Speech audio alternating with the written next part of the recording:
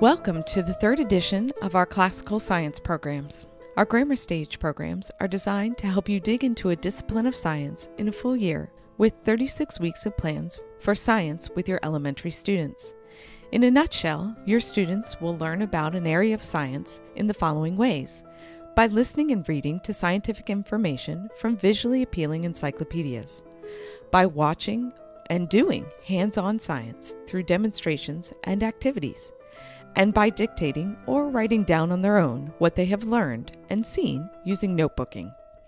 In addition to our easy to follow guides, you will need the student materials.